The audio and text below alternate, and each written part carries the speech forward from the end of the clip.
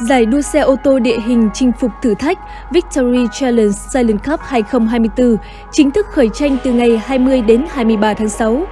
Giải đua gồm các hoạt động chính, khai mạc diễu hành xe địa hình, phần thi đấu đua xe của hơn 88 đội đua từ khắp các tỉnh thành trong cả nước, lễ hội cắm chạy xe ba miền.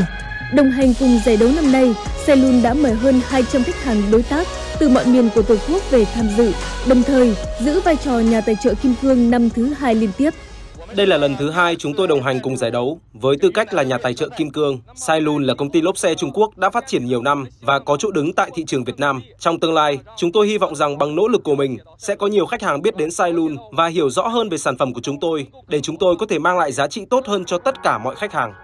Trong khuôn khổ sự kiện, khách tham dự còn có cơ hội trải nghiệm lái thử xe với lốp xe lùn, thách thức mọi địa hình.